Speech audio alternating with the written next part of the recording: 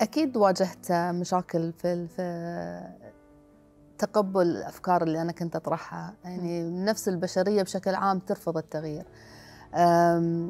الأفكار اللي كنت أطرحها مثل ما قلت لك قبل أنا ما أحب النمطية وما أحب السيستم المتكرر. ما أمانع الروتين لكن بنفس الوقت لازم الواحد لما يمارس الروتين يشوف كيف ممكن إنه هو يصحح. وكيف ممكن يتطور كيف ممكن يكبر. ويبتكر صحيح. ويبتكر بالضبط. آه فسواء آه، كان على الصعيد الشخصي ولا على العملي. يعني كان دائما لما آه، أي بافكار جديدة آه كان دائما يهمني إن أنا يكون عندي ما يدعم هاي الفكرة من كل النواحي. من ناحية ميزانية من ناحية فكرة من ناحية بحث. شو صار قبل شو بيصير بعدين ليش لازم نسوي هالتغيير؟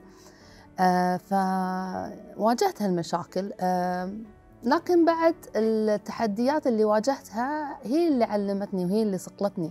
في النهاية الواحد ما يقدر أنه يكبر ويتطور إلا لما يواجه تحديات.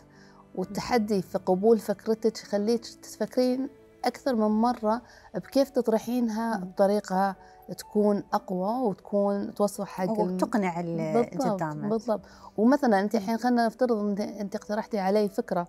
ويت أنا قلت لك لا هاي الفكرة ما تستوي لأن واحد اثنين ثلاثة.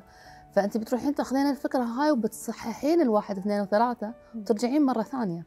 الواحد لازم يكون دائما عنده مثابرة ويتم إنه هو يدافع عن الفكرة اللي يؤمن فيها خاصة إذا كان فيها يعني مصلحة الجميع مو بس مصلحته هو شخصيا صحيح.